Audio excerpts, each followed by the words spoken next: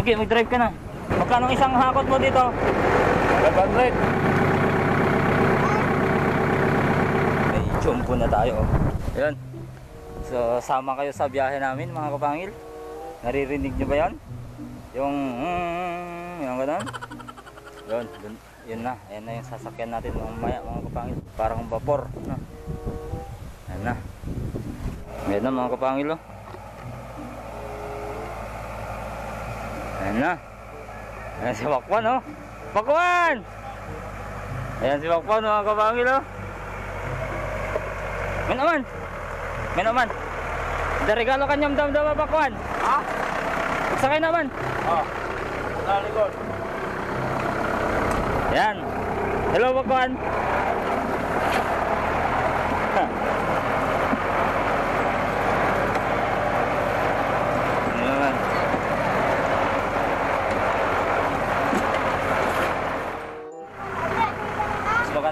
Mga dyan ha. Pakita mo ko yung view dyan. Ma'am! Ma'am!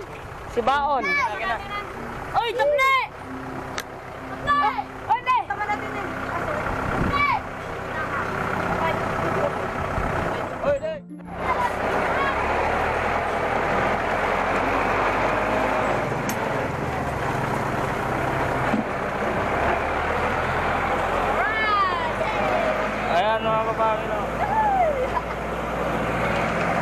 Sarawak 1. Sarap ng buhay mo dyan ah.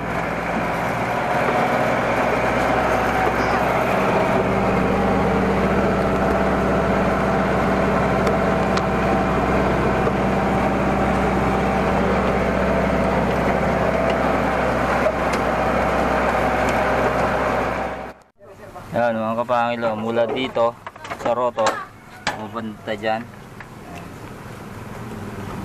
Sabi pakwan, sarap buhay mo ah.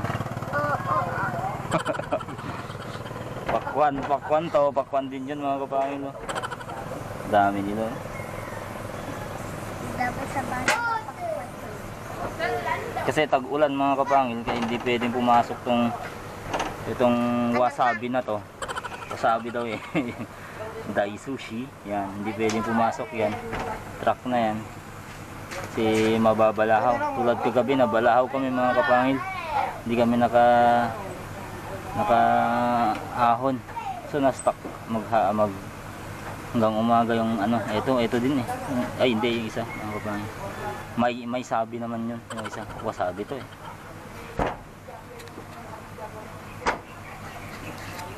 Pakwan. Drive ka na, pindu-pindutin mo lahat yan. Hoy, Pakwan. Ay, wag.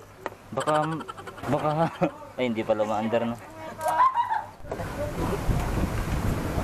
Oh, yung gi. Doon ka, doon ka. Yung gi. Doon ka lagi lagi. Ko. Yan. Oh. Mag-drive ka na yung gi. Yung gi, mag-drive ka na. Yan, mag-drive ka. Patapos na sila. Silip-silip muna yung gi. Yung gi. Delicioso. Delicioso. Tara, tara, tara. Dede. Tara, tara. Kajayun! Tara mga kapangin. Eh, share ko lang yung mga kaganapan dito sa lugar namin. Okay lang dyan, Pakwan? Tapos na kasi mga kapangin. Balik ulit tayo. Ano? Pa, dyan ka na pa. So,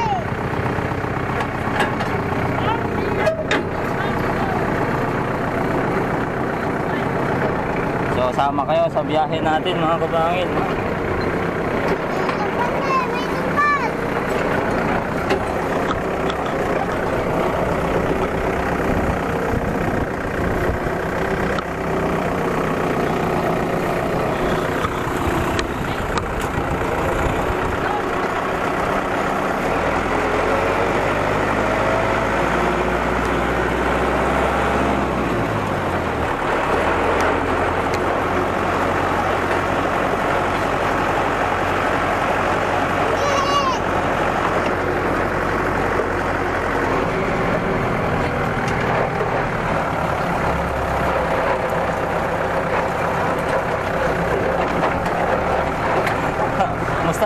Na kaya si Yonggi mga kapangin?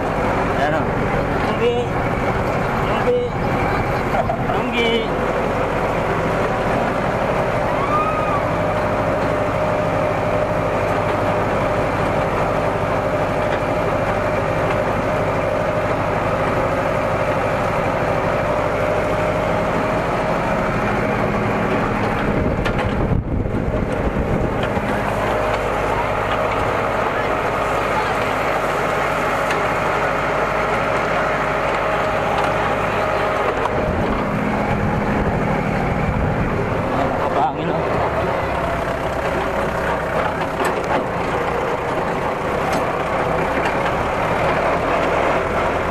Kasi yung lupa mga kapangil kaya hindi pwedeng pumasok yung ano, truck.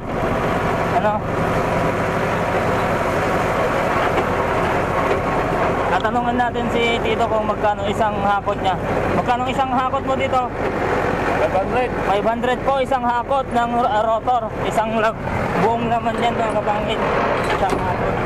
500. So baling, bali ilang hakot mo na ito kuya? Kuya, ano dito? Anim na. Pang-anim na, nako. So may 500. Ah, 3K na tayo no? Oo. Hindi pala ako kasama, siya lang pala. 3K mga kabangil.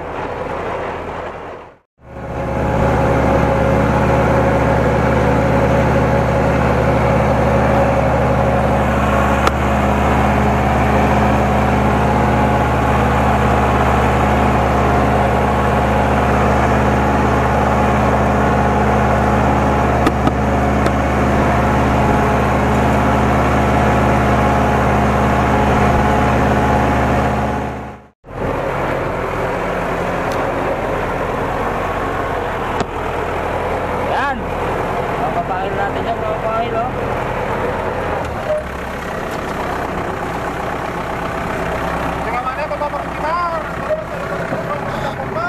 Ah, mula dito naman mga kabangil, um, eh, dito naman kukunin yung ano, yung mga mga pakwan. Ilalagay dun sa may truck kanina yung wasabi, ano? Ano? Ayun. Kasi yung mga kabangil nahilo, nagsuka, nagsuka, nahilo sa sa ano natin mga kabangil, ah, mga kabangil natin, oh. Yan. Mga kabangil natin yan. Dadaling yan, mga kabangil, oh. Ayan. Dami, no? Hanggang mapuno yan.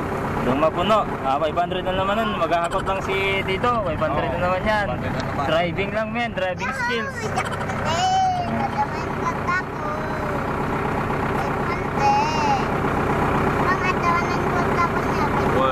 Nandun si Paul, mga kapangil, nagpapasaway.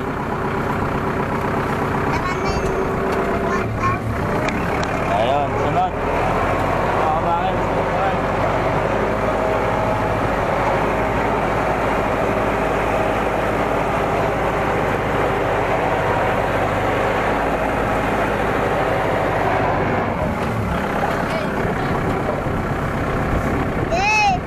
Ganyan lang mga kapangil.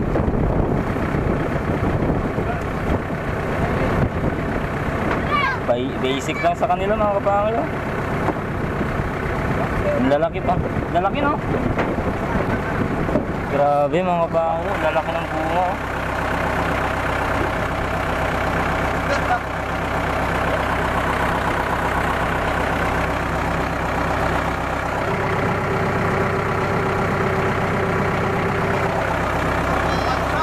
Lalaki talaga.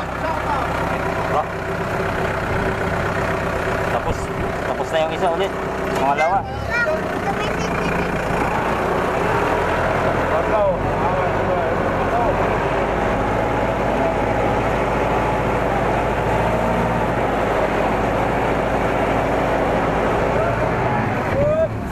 Ayan, basic.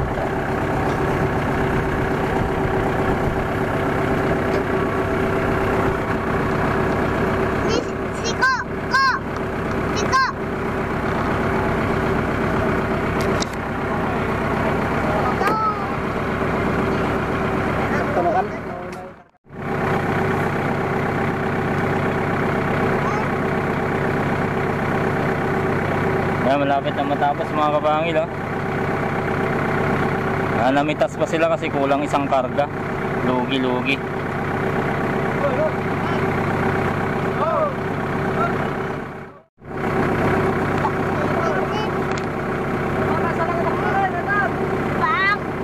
Yan, malaki.